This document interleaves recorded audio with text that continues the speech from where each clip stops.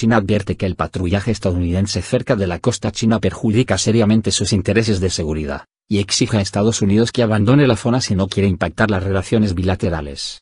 Si Estados Unidos quiere de verdad evitar un impacto en las relaciones bilaterales, la mejor manera de actuar es reducir o interrumpir sus operaciones de reconocimiento cerca de China, resaltó el portavoz del Ministerio de Defensa chino, Yang Yujun, según reza una nota de la página web del Ministerio de Defensa.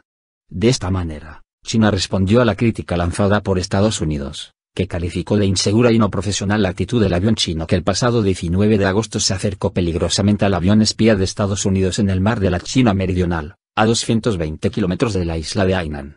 Según él, el problema es que Estados Unidos, refiriéndose al aspecto técnico del asunto, como la distancia entre dos aviones, se olvida del lado político, es decir, de sus actividades de reconocimiento muy frecuentes y muy cerca de China. Asimismo, explicó que no es China la que interceptó el avión estadounidense, sino que es Estados Unidos el que realiza misiones de reconocimiento a una distancia muy cercana. Las patrullas de Estados Unidos han perjudicado seriamente los intereses de seguridad de China, agregó.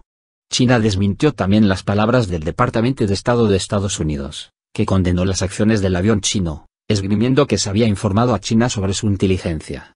Según China, nunca había recibido tal información.